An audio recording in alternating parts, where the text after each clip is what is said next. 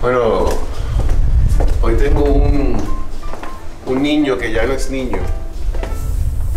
Empezó siendo niño y ahora es un hombrecito. Anda para el carajo y tienes el pelo que por un momento parecería como que es canoso.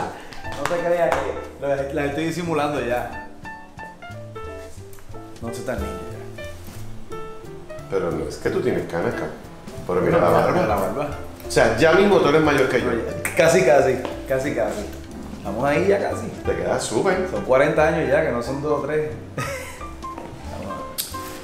40 no son nada. Nada, nada, estamos empezando, estamos Estás empezando. empezando a vivir. Empezando. Estamos bien, que es lo importante.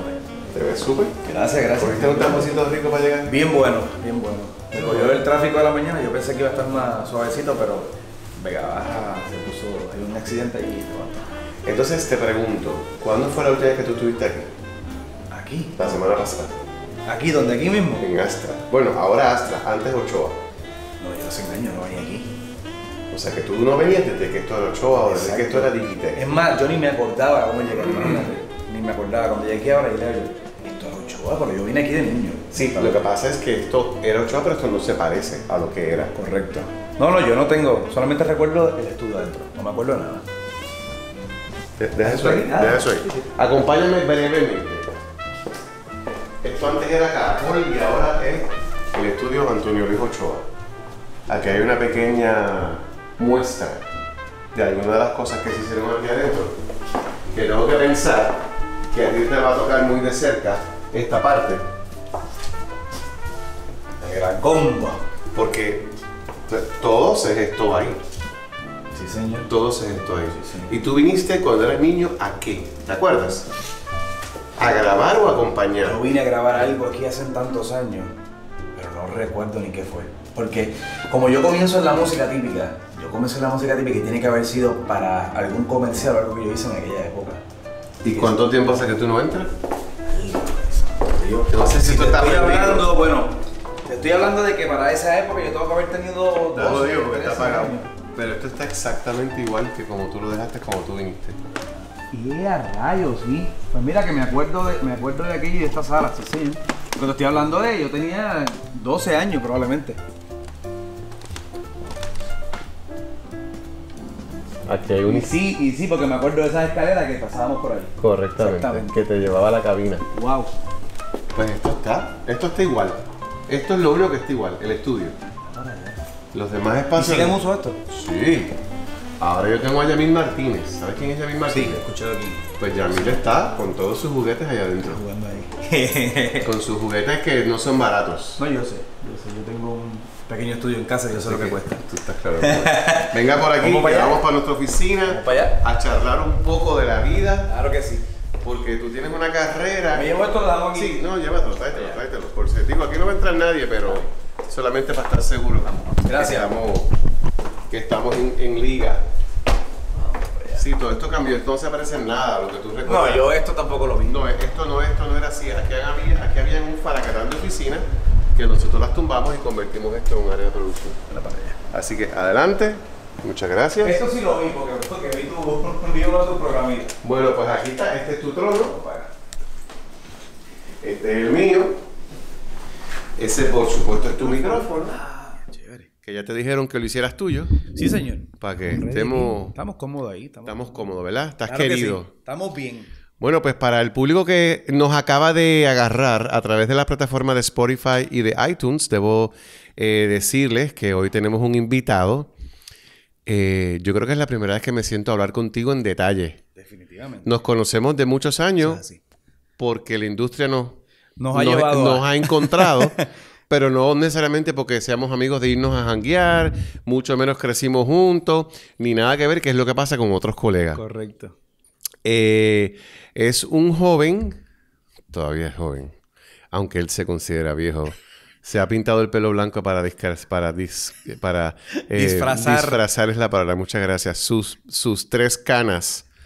Pero bueno, Eh, tiene una carrera que comenzó desde muy temprano eh, y tiene y tiene a su corta edad un un aval interesantísimo a nivel musical del cual vamos a hablar a fondo.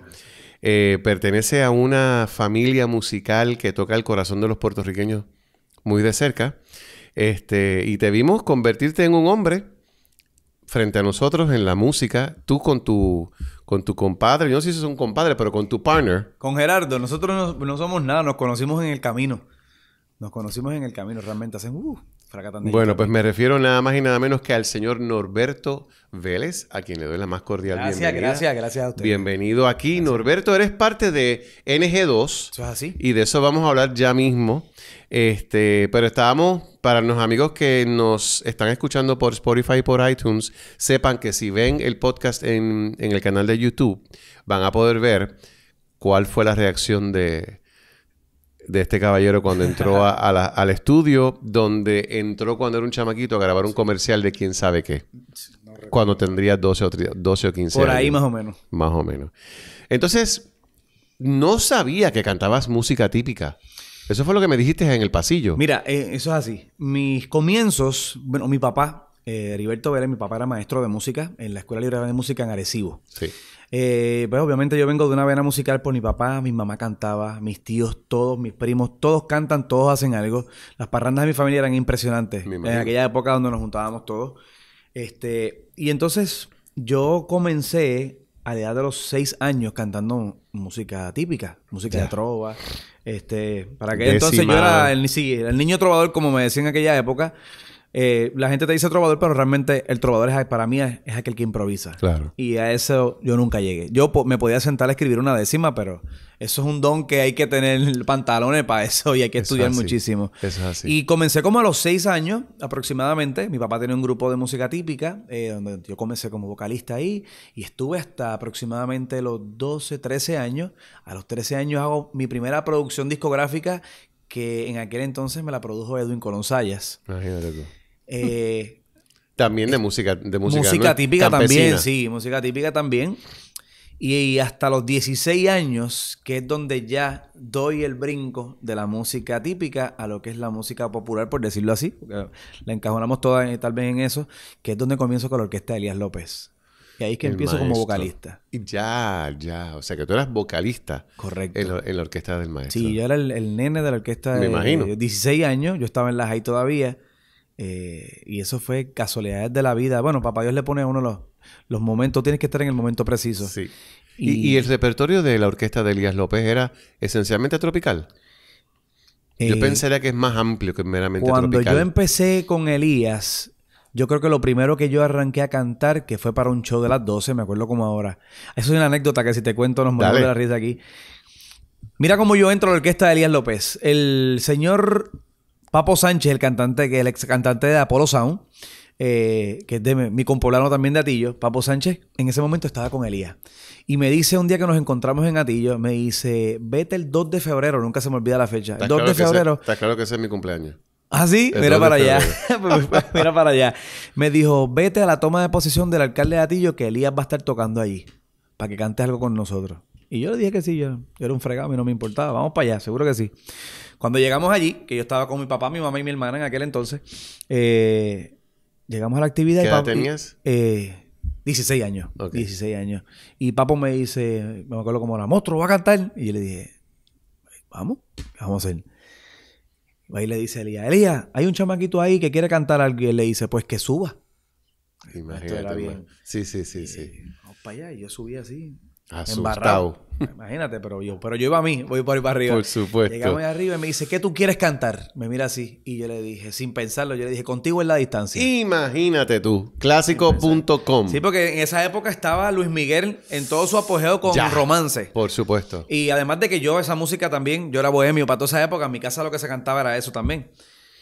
Eh, y me acuerdo como ahora que Elías se vira así y dice, arreglo 486, por el tipo se lo sabía todo de memoria y la carpeta de Elías era así, de cada instrumento. Claro. Y todo el mundo buscó su arreglito, pa, y cuando arrancó aquello, y yo arranqué. Y en el tono que le dio la gana a la orquesta. En el que estaba, en el que estaba arreglado, porque ahí había que tocarlo. Y yo arranqué por ahí para abajo y canté la canción. Pues, chévere. Me bajé a la tarima, Elías me dio las gracias. Pues, nos fuimos. Al mes me llama Papo, Mostro, mira, Elías quiere que tú vayas para la orquesta a cantar. Pero, pues como tú eres menor de edad, yo le dije que tenía que hablar con tus papás. Y yo, pues está bien, llamaron a papi. Elías habló con papi. Y arranqué un lunes por un ensayo.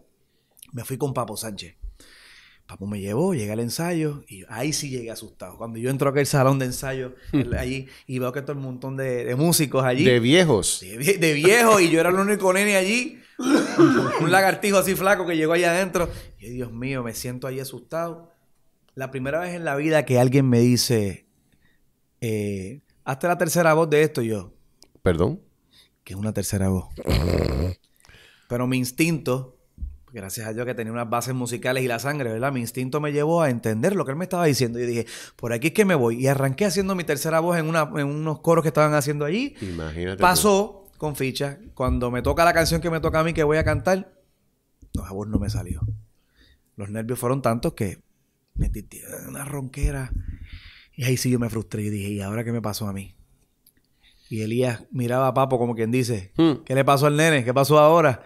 Y Papo le dijo, tranquilo.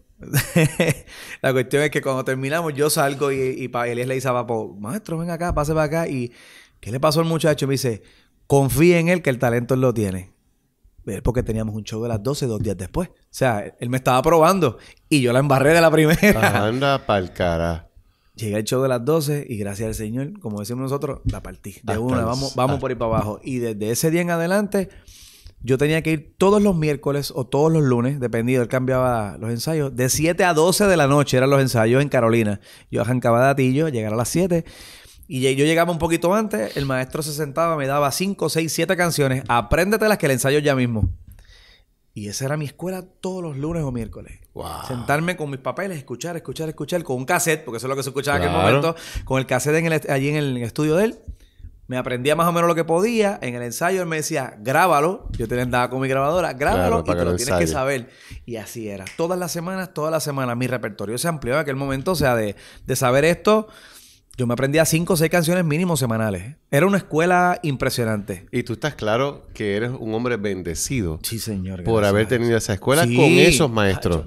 Yo le doy las gracias tanto a Papá Dios porque de verdad que ahí, ahí, porque ahí es que tú entiendes. Y por ejemplo, en Ahora mismo, no sé si conoces, si conoces, perdón, a Joseito Ruiz, que es trompetista. No. Él está ahora mismo al frente, junto con el hijo de Elías, con Elías. Estamos, retomamos otra vez Elías López y Trompeta con Trovadores, para hacer un homenaje a, a Elías. Claro.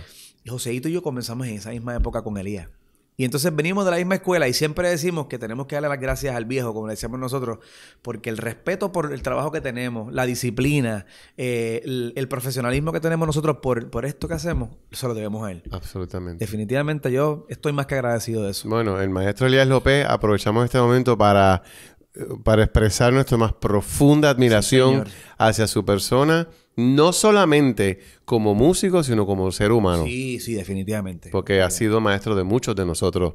Y yo no soy cantante de música tropical y mucho menos de instrumento, pero mi relación con el maestro siempre fue muy hermosa, muy cordial. Sí. He's a gentleman. Un caballero. Siempre fue un caballero. Siempre fue un caballero. Con todo el mundo. Con todo el mundo. Eso es correcto. Así que de ahí entonces básicamente comienza tu, entrada formal a la música popular eh, slash tropical. Correcto. De ahí en adelante comienza entonces lo que es este esta nueva etapa, esta nueva etapa en mí.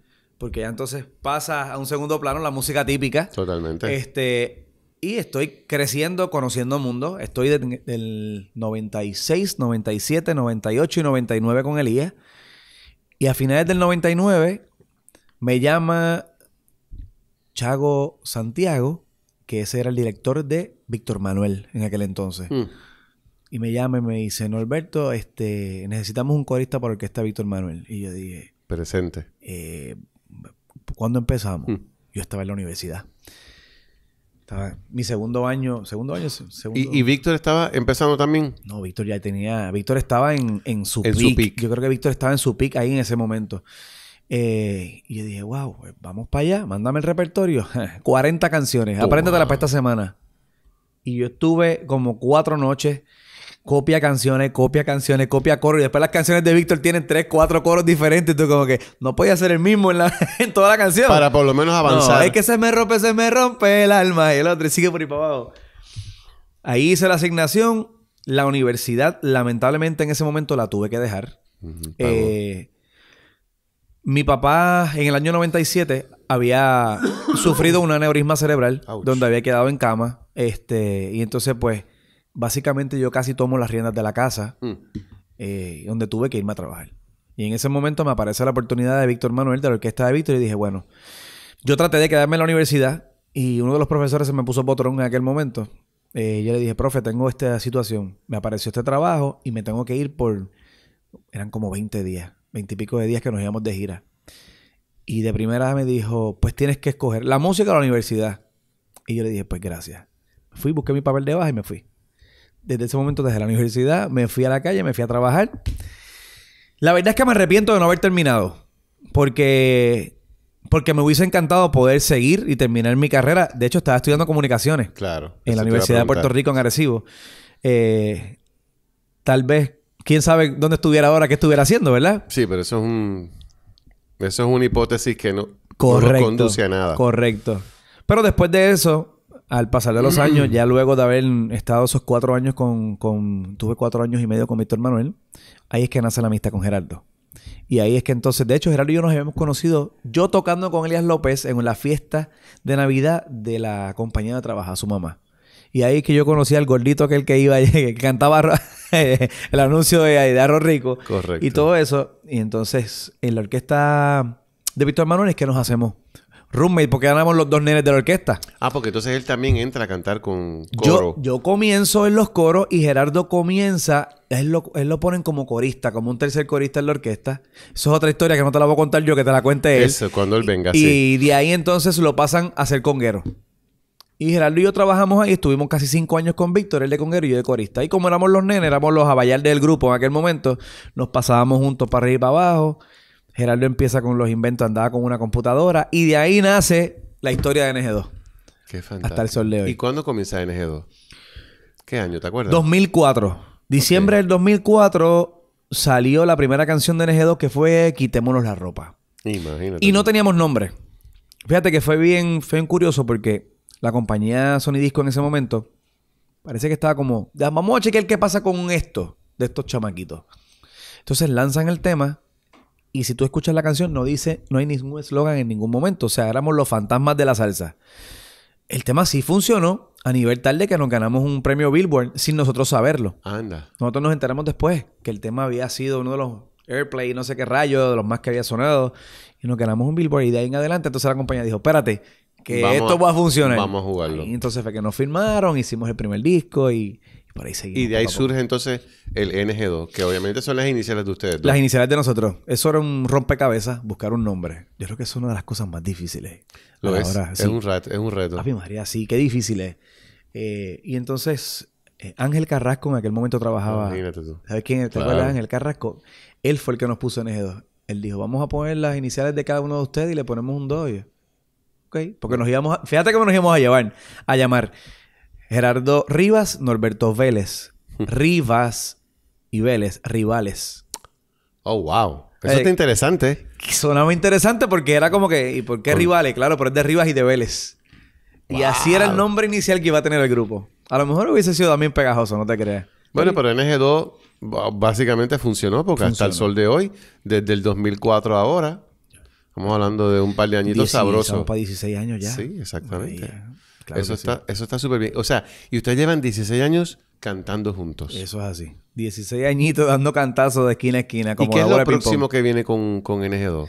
Nosotros todos los días tenemos un plan diferente. Y de todos los que ponemos cumplimos uno, aunque sea. Vale, muy y bien. por lo menos ahora eh, te puedo decir que llevamos 16 años tratando de hacer un disco de Navidad y 16 años nos tomó. Por fin salió el disco de Navidad. Qué bueno. Eh, pero fue que lo empezamos con todo el tiempo del mundo. Por Empezamos en febrero Muy bien. y ya en junio yo tenía el disco listo. Y me senté entonces en julio a mezclar el disco. Y eso lo hacen ustedes. Sí, ahí lo que es el estudio todo lo hago yo. Yo tengo mi estudio en mi casa, ahí yo soy el que grabo, yo soy el que mezclo, hago todo, por ahí para abajo. Y en esta ocasión, pues, eh, decidimos, aunque yo conozco bastante de lo que es la música tradicional o típica, no quise meterme en la parte creativa de la música. ¿Ok? Yo escogí los temas con Gerardo y llamé al maestro de un colonsaya. Imagínate Y vamos a poner a Edwin a que, A que lo, a a, que, a lo él- arme. a que él sea el que arme esto y nosotros vamos a cantar. Y así, que, así fue que lo hicimos. Edwin hizo todas las maquetas, las llevó al estudio, vamos a trabajar con esto. Y salió.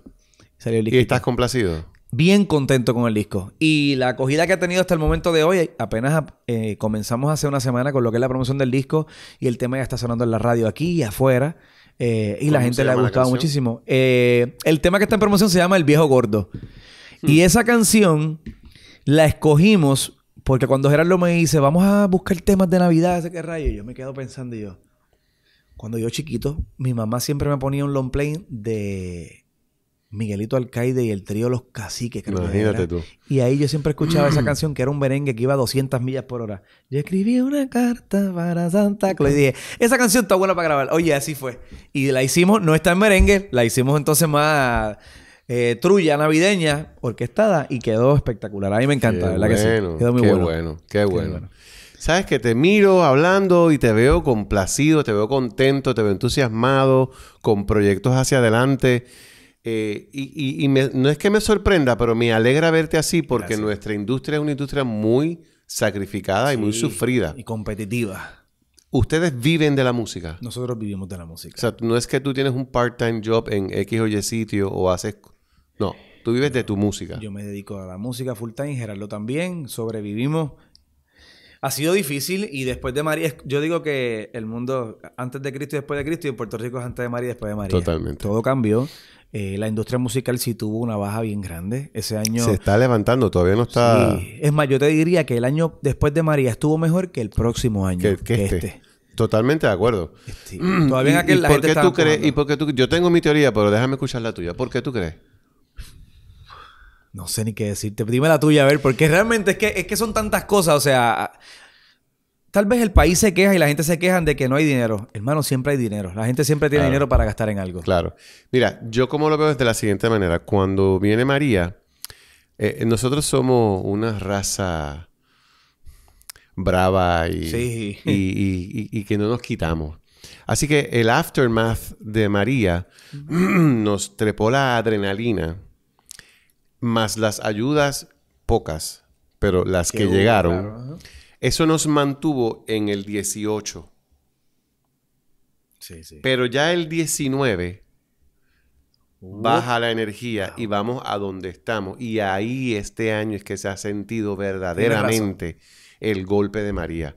Ahora yo quiero pensar, porque soy el hombre positivo del planeta, que el 2020 ya empieza Debería empezar este movimiento ascendente, eh, pero firme. No, no, ese, no esa ilusión enérgica de después de María. Correcto. Que, porque tú sabes, todo va a estar bien y le vamos a meter y todo. Pero llega entonces cuando, cuando, cuando viene la calma, es como dice, cojones, Ahora fue. y nosotros a nivel de empresa, el 19 ha sido un año muy duro para nosotros. Sí, sí, yo creo que sí. Muy duro. Y, estoy, estoy viendo ya, estamos, estamos acabando el 19, estoy viendo cómo el 20 se empieza a proyectar. Se proyecta mejor. Muy esperanzador y con con reinvenciones, con negocios que yo jamás pensé que iba a ser. Sí, pienso que sí. Entonces, quiero pensar que en alguna medida este, eso es lo que nos ha pasado a todos y, yo estoy seguro que todos queremos. Yo creo que sí, yo creo que todo, todo, todo va cambiando, todo va hacia una evolución. De hecho, eh, en mi carácter personal, este año yo decidí también trazarme metas eh, de cosas que a lo mejor yo tenía en mi subconsciente que yo quería hacer por mucho tiempo. Y ahora mismo tengo un proyecto encima que, por eso hablaba ahorita de lo de los nombres, que difícil es escoger un nombre. Tengo un proyecto que ya comencé y que hoy precisamente se estrena el segundo. Y se llama Sesiones desde la Loma. Oh, y sí, este conozco. he leído. Pues este proyecto... Es con Gilberto, ¿no? Gilberto está ahí. Gilberto está ahí. Este proyecto me surgió eh, detrás de la casa donde vivo. Hay un monte que pertenece a, a, la familia de mi... No, la familia de, de, de mi esposa. Este, y entonces ellos son ganaderos. Pero esa loma en específico, nadie le hacía caso y las vacas no subían. Hmm. Porque estaba perdido y habían árboles y piedras, qué sé yo. Y yo soy una persona que me gusta crear mucho con las manos. Yo soy, ahí me dicen el handyman, ahí me dicen builder, los muchachos de la orquesta, porque Yo, aquí se rompe algo y yo todo lo arreglo. Y, tu mujer te amará porque en tu casa no hay una bombilla fundida. En casa todo, lo hago yo y en mi familia todo lo hago yo y todo lo hacía yo. Eh, Gerardo, Norbert, tal cosa. Yo, sí, por teléfono, yo, ponme FaceTime para decirte. Entonces, yo hice en esta loma, después que limpiamos todo, eh, puse un vagón porque quería hacer como una casita para hacer algo allí. Metí una clase de terraza impresionante. Que me gasté como gastamos como 10 mil dólares en madera. Todo lo hice yo con mis manos. Qué genial. Llegó María, hizo así el vagón. Buenas noches. Nos vemos, se acabó el vagón. Ok. Yo no subí en seis meses. Me imagino. Gerardo subió a los tres días, porque Gerardo fue hasta, hasta Tillo, porque teníamos un baile ese fin de semana de María. Y yo no me moví de ti y dije, ¿qué baile? Si, ¿Para dónde vamos? Era en Filadelfia. ¿Para dónde vamos a ir? No hay aviones para empezar. Que no, no yo no tenía teléfono, no hay nada. Entonces yo no sé lo que está pasando en el mundo. Yo no voy para ningún lado. Yo me quedo aquí porque... Esta es la prioridad. El tipo arrancó de Bayamón, se, se la tengo que dar. El tipo arrancó de Bayamón sin gasolina hasta Tillo para decirme que habían abierto el aeropuerto que nos íbamos al otro día. y wow, hay que irse de aquí. Pues vámonos. Me Gerardo en el traqueteo de eso, fue arriba y él fue el que vio la terraza de aquello destrozado. Y yo le dije, gracias, pero yo no voy a subir. Seis meses después subí. Y mandé hasta una persona que me recogiera todo. Yo no quería hacer nada. Yo me negué. Yo dije, no. Qué fantástico esta historia. Me recogieron todo, toda la madera, la pusieron todo por allí. Y un día dije, yo voy a empezar de nuevo. Aproveché que mi esposa se había ido unos días de vacaciones a casa de una amiga y dije, ahora que no sepa nada, y yo voy a arrancar. Recogí todo lo que pude. En siete días monté la estructura de una casa y en 20 días la terminé. Una casita de madera con un señor amigo mío que me ayudó y yo. Arranqué y hice esta casita. No tiene cuarto, es simplemente una estructura de madera con, un, un, baño. Tiene su cocina, que es un gabinete eh, eh, reciclado de otro de un negocio que teníamos. Y un open eh, space. Y el balcón. Se acabó el evento. Lo dejamos así. Pues esa casita yo la hice con la intención de que siempre nos reuniéramos por allí, estaba el baño y íbamos a hacer la fiesta. Resulta ser que mis fiestas no son de 20 personas. Lo creo. Mis fiestas de Navidad de este pasado 27 de enero se metieron casi 300 y pico de personas. Imagínate tú. Este, mis fiestas de cumpleaños se metieron 200 tantas este año también. Y se convirtió ya como que... Y ya lo dejé establecido. Cuarto domingo de enero, nos vemos en la loma. Le pusimos un nombre un poquito medio, medio chacueco, por decirlo así. ¿Chacueco? sí, porque le pusimos la loma del Temeguindo. la loma del Temeguindo. del Temeguindo. Así que se llama inicialmente. ¿Pero qué quiere? ¿Cómo, que el Temeguindo? Porque realmente... ¿Sabes que está la canción de la loma del Tamarindo? Ah, ya. De, del Gran Combo. Y entonces yo relajando le puse un día, no, esto se llama la loma del Temeguindo. Y así se quedó. Y así tiene su letrero la loma del Temeguindo por allí. Y todo el mundo lo conoce por la loma del Temeguindo. Pero ¿qué pasa? Eh, me surge un día una idea viendo videos. Yo me paso viendo videos de gente de fuera de aquí. Y me paso viendo una idea y vi una idea de un cantante que se llama Jorge, Luis Chacín y el Pollo Brito son eh, venezolanos. Son dos anormales. Y ellos hacen muchas grabaciones, como venir aquí ahora mismo a este tu espacio. Voy para. Samuel, préstame la sala de tu casa que voy a grabar un, dos, temas allí. Y los tipos montan su allí en ese momento. Y así yo dije, yo puedo hacer esto, pero en vez de que sea en la sala de alguien diferente, uso mi espacio. Preparé el balconcito de aquello me llevé mi estudio y lo monté en la casa. Allí no hay luz, con una planta arriesgándome que se me dañara todo el equipo. Invité a un amigo que se llama Manolo Ramos. Manolo Ramos es un chamaco que es cantautor. Le está escribiendo ahora mismo, tiene dos temas, Nita Nazario lo ha grabado. Es mi amigo hace muchos años, excelente cantante y compositor. Y, como es mi amigo, tenía la confianza de decirle, caballo, vamos a probar con esto a ver qué pasa. Tengo esta idea y que él venía de Miami para Puerto Rico unos días y me dijo, pues tengo este día. Y yo, vamos. El muchacho que me iba a ayudar con una de las cámaras no pudo, solamente se quedó el otro que es el que está produciéndolo conmigo. O sea que eso fue a una cámara y la otra cogiendo lo que podíamos por el lado porque no había más nada.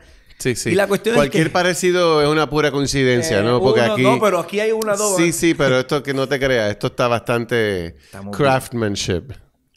La cuestión es que el inventito no salió bien. Me senté, mezclé en mi casa, todo, montamos el video y subí el video. Y la cuestión es que el video empezó a tener una buena respuesta de la gente porque vio, porque mi concepto es una entrevista corta, tal vez para no, ¿verdad? No cansar la gente con a lo mejor lo mismo que a lo mejor se le pregunta a todo el mundo. Por ejemplo, este tipo de entrevista contigo es bien diferente porque yo no cuento esto en ninguna entrevista lo tengo clarísimo. con nadie porque no hay tiempo. No, y, esa entrevista a mí no me interesa hacerla. Quiero hacer esta. Correcto. Pues esto yo no lo hubiera contado en ningún lado ahora mismo. Pero una entrevista en la radio por lo regular dura dos minutos y tengo que contar, voy el disco, sí, me fui. Hmm. Entonces, pues hago ese tipo de, de preguntas, cosas diferentes y me voy a lo musical. Hacemos tres canciones. En mi caso, como yo soy músico y cantante, pues yo arranco cantando una canción de la persona. Ya, qué bello. Para hacer un espacio número uno que me integro yo. Sí, no, y de, Francisco, tú vas para allá. Y de tributo. Claro, yo te, yo canto una canción tuya, esa persona entra en la canción y después canta las dos tuyas. Y yo te sigo acompañando. Pues así hice con Manolo. Y cuando me salió también la jugada que dije, voy a hacer otro. Y llamé a Gilberto. Gilberto, ¿tú crees que tú puedes hacer esto? ¿Cuándo nos vemos? Hmm. Tal día allá arriba. El tipo llegó, hicimos tres canciones, a él le gusta la cuestión de tocar bongo, lo puse a hacer una descarga de bongo allí, la pasamos espectacular, espectacular. Y ya pues, ya como que lo establecí, bueno, ya voy por la segunda edición, ya nos vamos. Ahora voy a hacer dos más que son de Navidad, saco una para diciembre, saco una para enero, va a ser una mensual porque tú sabes el trabajo que da estas cosas. Eh, una mensual y se acabó el evento. Pero eso entonces esto te tiene, te tiene ocupado. Eso me tiene con la cabeza ocupada. Y te tiene la mente, te veo sonriendo y todo. Cada eso me dice todo el mundo. Cada vez que habla te río. Pues que me gusta lo que estoy haciendo. Qué fantástico. Estoy en una faceta completamente diferente a lo que hago. Salgo de mi zona de confort, que es simplemente treparme una tarima a cantar. Claro. Y ahora estoy eh, pensando en que, ok, tengo que hacer, estudiar. ¿Qué canta esta persona? Eh, ¿Cómo lo podemos hacer con tres, cuatro músicos? Porque no puedo meter más gente. Claro. O sea, no es una orquesta que voy a meter allí. Claro. Y en el caso de Gilberto, yo dije, bueno, pues yo me voy con la guitarra. Mi guitarra, un truco que suena con un bajo junto. Llevo un señor que toca tres, uno que toca trompeta, una conga y Gerardo y el mismo Gilberto en el bongo y cantando. Y dije, aquí está el grupo. Ya está. Y sonó espectacular. El anterior fue guitarra, bajo. Yo me llevé un bajo también gracias a Dios tengo la versatilidad de tener de conocer varios instrumentos y puedo pues defenderme y hacer algo. Por supuesto. Puedo jugar con eso. ¿Qué me hace falta? No, pues para este hago este, para este hago lo otro. Qué bien. Y ya por ahí tengo varios artistas que ya están en la lista, que van uno por medio. La gente está ansiosa por grabar. Luisito Carrión hablé con, eh, con él antier y me dice, ¿cuándo vamos? Yo, no, ahora para el año que viene. Chico, pero no podemos hacerlo antes. Qué bueno. No, y ese entusiasmo es... Ese entusiasmo nos alegra. Claro, gracias. Eh, y tengo que aprovechar para decirte que que lo más que me, que me, que me seduce de esta historia que me estás haciendo es que demuestra la, tu amplia versatilidad o tu gran complejidad como músico, como persona, como ser humano. ¿Cómo eso, ¿Cómo eso te afecta en tu relación de tu matrimonio? El que tú seas así de complicadito. Eh, sí, a veces no hay mucho espacio, no, no hay mucho tiempo, perdón. Eh, como para compartir, pero siempre trato. No, pero no me refiero al factor tiempo por la agenda cargada. Yo estoy hablando de la psiquis del marido. Tú eres un tipo complejo. ¿Cómo eso, cómo, tu mujer brega con esto? No, fíjate, llevamos una relación muy buena y nos llevamos muy bien y ella me entiende. Y yo soy un tipo que cuando estoy en casa, ¿sabes? Para estar en casa vamos a complacer y todo lo que vayamos a hacer. Eh, llevamos una relación muy bien. Yo llevo cinco años actualmente con ella eh, y me llevo. De verdad que no me puedo quejar. O, sea, que tú eres bastante organizado. O sea, cuando estoy en casa, estoy en casa, pero cuando estoy en el estudio, estoy en el estudio. Es lo que me estás diciendo. Sí, correcto, ¿sabes? Si es el día de estar en casa, es el día de estar en casa. Por ejemplo, lo que te iba a hablar del tiempo, en su caso, ella es dueña de un, de un salón de belleza. Los sus días libres son los martes. Por lo regular, los salones no abren lunes. Correcto. Son los martes y los domingos. Esos dos días yo no hago nada. Tú estás para ella. Esos son mis días libres. Tiene que ser que sea un caso, pues, mira, que esta cosa. Un guiso importante. Claro, pero de lo contrario, porque si me llama. No, los martes no puedo. porque ese es el día de dedicar, para estar con ella, además de que yo necesito mi tiempo también. No solamente eso, eso es muy saludable para la relación. Correcto. Muy saludable. Correcto. Ese es el día de. Eh, en mi casa hay un único problema y es que mi mujer es demasiado morning. Ella se levanta. Ahora nos levantamos a las 4 y media de la mañana todos los días. Porque vamos al gimnasio a las 5, ya a las 6 estamos en casa y ella se va a trabajar y yo, pues, a lo mismo. Hacer tu vida. Y acostumbrarme a, dormir temprano era lo más malo porque ella se acostumbra, ella, ella, es de las que si llega del trabajo a las 7 se puede acostar a dormir, se duerme Feliz. y se levanta a las 3, 4, 5 de la mañana como si no hubiera pasado. Y yo estoy llegando a tocar a qué hora? A las 3, 4, 5 de la mañana. Ahí estaba el problema. Y entonces eso es una reconfiguración. Wow, ahí fue bien difícil acostumbrarnos a eso. Es como cuando tú estás en el, en el carro eh, y estás usando el GPS y de repente te dicen, recalculando. Eh, algo así. Me pasó ahorita, porque me pasé de la salida que no era. Lo sé. recalculando. Horrible. ¿Qué, qué, ¿Qué te inspira? La vida. Yo no te puedo decir algo en específico. A mí me gusta tanto y me apasiona tanto lo que hago que a mí me inspira todo. Me gusta mucho despejarme la mente en la playa. Eso me... Eh, mucha gente me pregunta ¿Qué me inspira a inscribir, por ejemplo, en la música? Eh, en la musa. Déjame callar esto que empieza a sonar ahora y si no nos amanecemos aquí. Por, eh, por, favor. ¿Qué me inspira en la, por ejemplo, a la hora de la musa de escribir? Y ahí no me inspira nada. Tú me dices a mí, necesito una canción que diga tal cosa, necesito tal cosa, y eso sale. Ya. Eh, no es que yo te diga, hay gente que dice, no, a mí me inspira ver las estrellas. No, a mí las, estrellas me inspira a verlas porque me gusta quedarme viendo las estrellas. Ahí pero no es que mirando las estrellas te inspiras en una canción. Nada, nada, eso no tiene nada que ver. Pero ¿sabes lo que significa eso? Que eres un creativo disciplinado. La creatividad, la creatividad es una... Bueno, es un don. Sí, claro. Eh, y como toda destreza, tiene que ser eh, desarrollada y estructurada. Tú no puedes decir, pues yo voy a escribir la canción cuando me llega la musa. Y si la musa no llega en seis meses, ¿de qué vivimos? De nada. Hay que acostumbrarse a levantarse todos los días a la hora tal, porque a la hora tal hay que escribir. Sí, sí, y tú lo que me estás diciendo es que tú eres así. Pues mira, Tengo que escribir algo con este tema y tú, pap, you go and you do Por ejemplo, para hacerte una historia más reciente, hace mm, dos semanas, tres atrás, me llama un amigo y me dice, Norberto, ¿tienes alguna canción que me puedas dar? Y yo, pues no, no tengo nada. Pero ¿qué tú buscas? ¿Qué quieres? Contra, pues me gustaría una canción así, así, que diga esto, que sea como para el bailador. vengo ahora. Ok, está bien, pues dale, te hablo ahorita. Yo te venía guiando. Colgué el teléfono y algo así. Voy guiando. Voy el celular, lo pongo a grabar y empiezo rápido, como si estuviera improvisándola. Empiezo a hacer las ideas. Oh, chévere. Ahí mismo, entonces empiezo a dictársela. ya empiezo a dictar la palabra, la escribo. Eh, la leí otra vez. No, déjame cambiar esto, déjame cambiar esto. 15 minutos me tardé. Qué barbaridad. Y ahí mismo le envío un voice. Mira, escucha esto, a ver si te gusta. Eso mismo es lo que yo quiero. Eso mismo es cuando la grabamos. Yo, pues está bien, empezamos esta semana. Así sale. ¿Y, tú estás claro que eso es un don. Definitivamente. Porque no todo el mundo puede hacer no, esto. No, no, no. Incluso hay días que no sale nada. O sea, te soy claro. Hay días en donde me piden algo y yo, wow, no. Hace dos días me llamaron, mira, para un comercial de una compañía, eh, mira esto y mira a ver qué te sale. Colgué la llamada y automáticamente me salió el coro como si me lo hubieran dictado a sí mismo. Qué fantástico. Mira, tal cosa. Lo voy a enviar para allá. Así de voz, porque pues no, estoy guiando también. Exacto. Mentira, tenía una guitarra en el carro y guiando con el pie. ¿En serio? grabé y se lo envié. Mira, enseña, mira a ver si te gusta. Lo envió para la compañía. Sí, eso está. Imagínate tú. Ok, está bien. Qué fuerte, Norberto, qué fuerte. Hay cosas que llegan, hay cosas que llegan. Hay un, fíjate, hablando de esto, no sé si. Hace tres años eh, falleció un niño, un ahijado de, de mi esposa, eh, de tres añitos, de unos amigos muy queridos.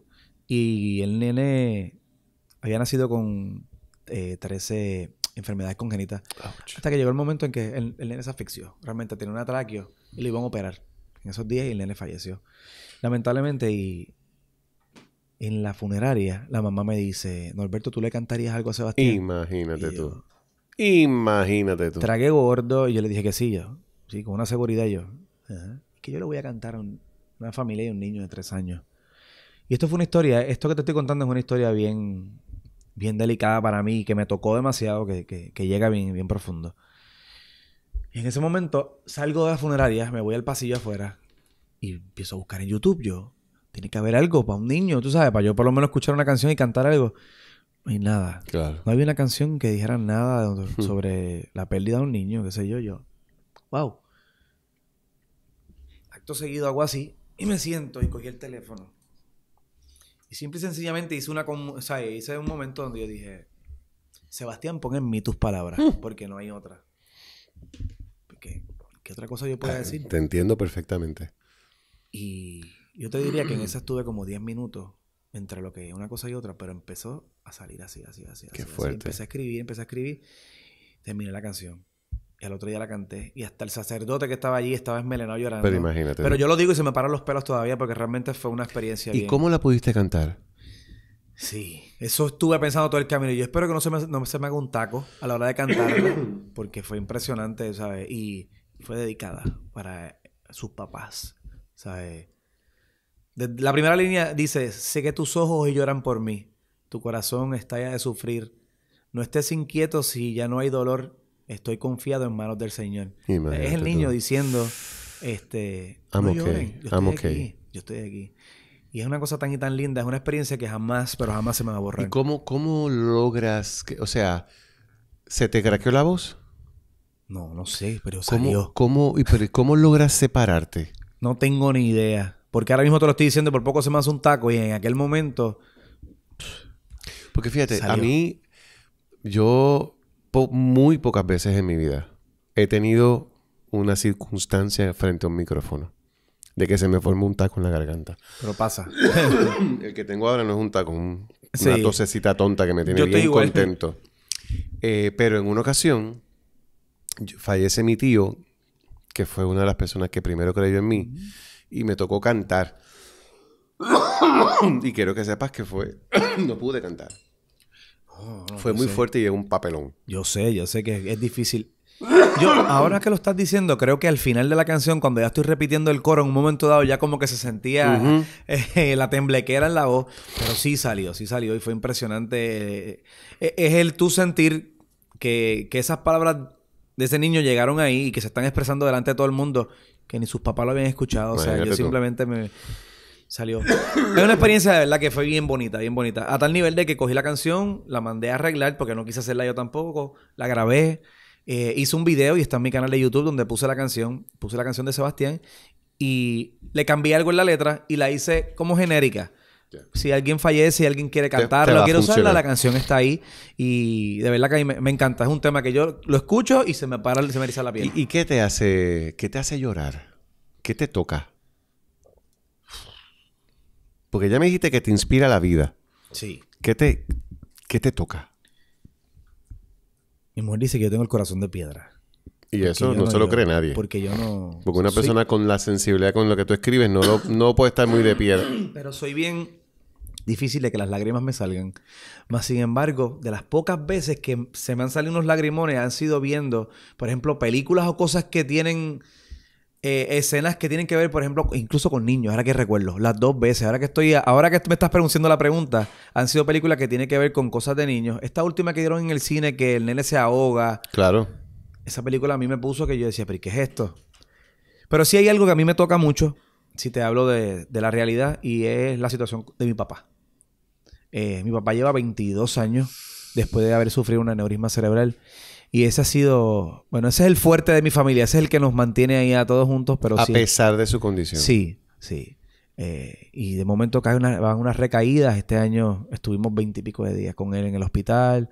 Y es como que en ese momento se me baja. ¿Y, y, qué tú tienes de tu papá? Yo soy casi una réplica de él. Yo estoy clarísimo. Yo soy una réplica de él con un poquito de mi mamá también. Mi papá era un tipo pasivo. Ah, exacto, dime. Mi papá era un tipo que todo ¿Era o es? Bueno, ya no es lo mismo que antes. Todavía está con nosotros. pero mi papá siempre fue una persona muy querida. Era un maestro, era maestro de música, como te dije. Mi papá, todos sus estudiantes y sus estudiantes, sus ex estudiantes siempre vivieron agradecidos de cómo él fue como persona, como maestro, si era estricto como maestro, pero si ibas allí era porque ibas a aprender y él te iba a enseñar. Eh, mi papá no, no tomaba, mi papá no fumaba, mi papá no salía, mi papá simplemente salía a trabajar y de ahí a la casa y de la casa a estar con nosotros. Para mí, no es porque sea mi papá, pero fue el mejor padre del mundo porque de verdad estuvo ahí siempre para nosotros, nunca tuvo un no. Bueno, mira a tal etapa que te estoy diciendo que, que cuando cae lo de Elías López, el tipo dijo que sí, me mandó para allá dale. él sabía que yo tenía el potencial para poder crecer en esto. O sea, él siempre creyó en mí. O sea, que tú tienes el drive de tu papá. Sí, definitivo. Y el, y el gusto por la música. Sí. ¿Lo tienes de los dos? De los dos, de los dos, porque mi papá, pues, traía, eh, traía su vena musical, pero se hizo maestro. Pero mi mamá canta. Sus tres sus dos hermanas cantan y su hermano también. Todo, y como te digo, cantan, no es que, ¿sabes que tú dices que hay gente que canta y. Todos cantamos. sí. No, ellos cantan. todos cantan afinados, todos saben hacer voces, o sea, todos. Te estoy hablando de que es una cosa impresionante. Las parrandas de mi familia eran una cosa que yo no he visto ninguna como ella. Antes, ¿sabes que las parrandas son un cencejo, un bongo y un alboroto? las parrandas de mi familia eran cuatro guitarras, guiro, y todos haciendo coro. Todos tenían sus cancioneros, todas las canciones de Navidad. O sea, una cosa estructurada. Qué bien. Y, es linda. Y es lamentable que después de tantos años, pues ya no, no pasa eso. Pero yo pienso que también desde que mi papá le pasó esto, todo cambió. Toda la familia, y somos una familia grande. Pues de repente te toca a ti rescatar eso. Sí, pero el trabajo deja a uno como que... Sobre todo esta época, que es la época más fuerte nuestra. Claro, claro que sí. Tú sabes que ahora que estabas hablando de que estos videos que te hacen llorar, ah, yo he descubierto que hay veces que me siento a ver cosas en, en, en el internet. Entonces he visto unos videos y me veo como un tonto esmelenado llorando. Puntualmente, estos videos donde el papá o la mamá están en el ejército o en el army o algo y le llegan de sorpresa Ah, a un sí. familiar. Sí, sí, sí. Y yo como, pero es una cosa... Eso te toca. Y yo quiero que tú sepas que yo tengo cero de soldado, cero de milicia. En mi casa, Nadie. nadie. Nadie. Nadie. O sea, que no hay tal cosa como que yo tengo una familia. sí, porque lo tienes cercano, pero no. Un, carajo. Nada que ver. La mía tampoco. yo no hubiera sobrevivido una semana en, en ninguna de esas disciplinas No, porque no. eso es demasiado estructurado para el hombre libre que soy yo. Sí, sí. Yo me hubiera, re- me, me hubiera revelado y la cama la voy a hacer como me dé la gana, no como tú quieres que yo la haga y no empecemos. Y si no dejas la rega, que yo me No, voy a acostar no. ahorita otra vez. Voy a dormir igual de bien.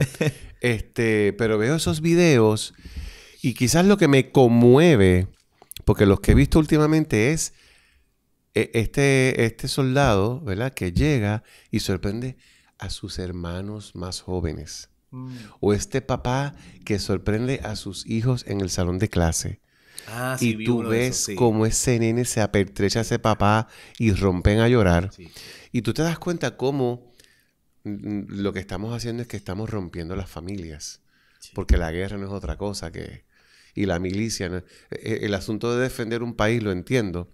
El precio que se paga Es, es un precio alto. Y esas familias pagan... Olvídate de los que pierden el hijo en la guerra. Sí. Estamos hablando de los que vuelven y cómo vuelven. En fin, eso es un tema de otro sí, podcast. Sí, eso es, otra, eso es otra cosa. Que realmente muchos de ellos vuelven y ya no, no regresan igual. Eh, su mentalidad cambia tanto que te, sus enfren- te matrimonios... enfrentas a unas Sí. cosas que no te puedes... No, No puedes pretender regresar igual. ya, no, ya no son iguales y de hecho eso sí me ha tocado de cerca. No a mí, pero sí lo he visto. Y terminan los matrimonios destruyéndose Sí. pues, por Los razón, hogares, los hogares. sí. Bien difícil. Es, es bien duro, es bien duro. Oye, ha sido espectacular eh, conversar contigo. He aprendido de ti más de lo que sabía. No sabía lo, com- lo completo, iba a decir complejo, pero es lo completo que eres como, como artista.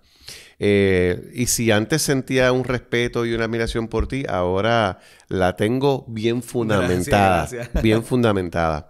Ahora entiendo, ¿verdad? Por qué tienes el cabello de ese color, porque con una mujer estilista, pues por supuesto que está muy fácil, porque lo tienes y lo tienes bien hecho. Que no fue que te lo hiciste tú. No. Está hecho por manos de una, de una profesional. Y eso queda clarísimo. que lo cual me alegro. Eh, so, entonces, lo próximo que está en el panorama es este disco de Navidad, que por fin se convierte en una realidad, y las eventuales eh, aventuras en la loma, Sesiones desde la loma. las sesiones desde la loma, que es cuestión de estar pendiente a tu canal de YouTube. Claro que sí. claro Muy que bien. sí. Pues mira, antes de despedirte, de despedirnos y de pedirte tus redes, tus- todas tus redes sociales para que la gente se pueda seguir compartiendo tu información, sí. eh, siempre me gusta terminar pidiéndole a mi invitado que si me tiene una pregunta a mí, algo que tengas curiosidad de saber, pues Oye, qué que- interesante que, eso. que me la, que me la Esa- zumbe. Esa no la vi venir yo. Que me la zumbe. ¿Qué te gustaría saber? ¿Qué pregunta me tienes? ¿Qué otra cosa has hecho en tu vida además de esto que haces? Mira, lo que pasa es que esto que haces es complejo. Este. Porque, por ejemplo, te hemos visto, sí, como presentador, te hemos visto en, los anuncios que De Ace, hiciste, de de Ace. Ace. Hoy, hoy, casualmente le dije a alguien, voy para una entrevista con Francisco Zamora. Francisco Zamora. Eh, ¿Te acuerdas el de anuncios? Ah, sí, sí, Claro, sí, claro, claro. claro. bueno, pues además de los anuncios de ACE, además de ser presentador, pues también fui comediante. Soy Ah, sí, comediante. claro. Este, trabajé por muchos años con, con Luisito Vigorón entrando por la cocina y con los rayos sí. gamma. Este, De ahí, de, ahí es que, de ahí es que te he visto. de ahí es que tú me has visto, por claro. supuesto, porque eso también marca un poco ese comienzo de ustedes en los shows del mediodía. Este, doy conferencias, doy talleres, hago mentoría. Eh, una de las cosas que realmente más me disfruto hacer es inventarme cosas. A mí me encanta, Eres muy creativo. sí, y me encanta ver una oportunidad Y sacarle. y parir una idea. Entonces, lo más espectacular es, esta mesa está vacía y en X tiempo sobre la mesa hay algo. Hay un libreto, hay una película, hay una obra de teatro. De cero, parir algo me vuela la cabeza. Pues tienes algo de lo mismo que yo entonces. no, yo por eso, lo, por eso lo reconozco. Por eso lo- y reconozco que esa inspiración es divina. En el caso tuyo, estás tan conectado que no te tienes que inspirar con nada. Sencillamente abre la esa puerta se abre y empieza a, volar aunque estés conduciendo. Así mismo. Y eso no lo tiene todo el mundo. No, no, no. Así que ahí está mi, mi respeto. Mis momentos de mayor creatividad son cuando estoy conduciendo, cuando me estoy duchando. Yo creo que es porque es el momento en que uno está solo. En que estás solo y no porque nunca puedo escribir cuando hay alguien al lado. Bueno, sí lo he hecho, pero es más difícil. Es más difícil porque la conversación tiene una dirección. Sí, pero cuando estoy solo yo hablo y yo digo que estoy medio tostado porque yo soy mm. de los que apago el radio para hablarme en el carro. No sé si alguien más lo hace. ¿Y tú te hablas? Y me contesto. Qué, espectacular porque yo hago lo mismo. ¿Me puedes dar un ejemplo? no, no estoy solo en este mundo. Está bien, pero una, cuéntame una conversación que tuviste hace poco. No sé, pero déjame ver si recuerdo algo. Pero, por ejemplo, voy a hablar... Por ejemplo, si vengo para acá ahora, yo, bueno... Eh, espérate un momento. Pa, pues apago el radio porque me voy a hablar. Y arranco a hablar solo. Ok, yo voy ahora para lo de Francisco. De ahí voy a hacer tal cosa. Pero tú vas ahí, de, de ahí vas para dónde? Pues voy para el otro lado, para, para la otra entrevista que voy a esto y de ahí sigo para... Lo... Ok, está bien. Y entonces acá ahora abajo. Pues debo terminar antes de las 3 de la tarde porque tengo que bajar antes que me coja el tapón para llegar a ti yo porque tengo que hacer un trabajo allá. Pues estamos bien, no hay problema. Pero, sea, una cosa así. Espectacular. Me hablo y me contesto. Es una... Y otra manía, no sé, de locos también. Si te voy a llamar por teléfono, antes de que me contestes, ya yo te estoy hablando lo que te voy a decir. Ya tú estás claro. Ya yo lo estoy diciendo en voz alta. O sea, te estoy marcando. Mira, Francisco, ¿cómo tú estás? ¿Estás bien? Y tú no me has hablado todavía. eso sí es de loco. Oh, pues, o sea, ya ahí no te las vengas a echar de genio. No, pues está bien. Eso es que estás loco para el carajo. Quería estar que yo quería estar claro de que sí. Pues tú sabes que yo también me hablo, pero fíjate, yo cuando me hablo, más que para organizar mis pensamientos, que es lo que tocas de hacer, yo me hablo para aquietarme. ¿Oh, sí? Me explico. Vamos a pensar que tengo una situación hoy. Una vamos a pensar que tengo una situación, este, una situación económica. Yo empiezo. ¿Cuál es tu problema? ¿Esta es la primera vez que te pasa esto? No. ¿Siempre lo resuelves? Sí. Pues deja la mierda. Es verdad. Deja de estar llorando, cabrón. Me pasó, ayer. Ya, ya. Cálmate. Ve despacio, respira, aquí no va a pasar nada más. Y todo se va a resolver. Esto soy yo conmigo mismo.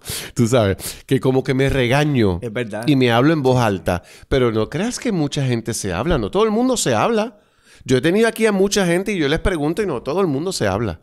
Somos pocos los locos. A mí me ayuda un montón. No, pero es verdad. Y me desahoga y me hablo a mí mismo y me contesto y ya. Y estoy tranquilo. Pero me pasó lo que acabas de decir ayer. Cuéntame. bajando. Iba a tomar una decisión que, que gracias a Dios no la tomé. Y yo dije, ¿por qué no lo hiciste? Y dije, no, porque no es el momento ahora, porque tú no sabes si tal cosa o esto, esto. Y dije, no, pero si total, si siempre vas a salir, siempre vas a resolver. ¿Cuál es el problema? Siempre has resuelto como hasta ahora. Sí, pero mejor no. En este momento vamos a quedarnos como está y no te, no te metas en ese revolver ahora mismo. Y fue como que yo mismo me regañé y me dije, sí, déjate, quédate quieto. Y así fue, no lo hice. Qué fantástico. Por poco me embrollo era. Yo sé. Lo mejor que no lo hice. Muy bien. Bueno, antes de terminar, por favor, dame tus redes sociales. Pues mira, me consigues, eh, tengo mi nuevo fanpage eh, en Facebook, que me consigues por Norbert. En vez de Norberto, vas a escribir Norbert. Me puse en inglés porque todo el mundo me dice Norbert. El Norbert, la O, todo el mundo se la come. Entonces es Norbert, pero tiene un guion. Nord-Bert. Ya. En Instagram. Porque somos complicados. Sí, porque queremos hacer lo que se vea. Para escribir lo normal está todo el mundo. Olvídate de eso. Es como que escribe este, las palabras con K y es con C. Claro. Pues yo lo quise escribir así. Muy bien. Eh, el Instagram también me consigue por Norbert o Norbert Music.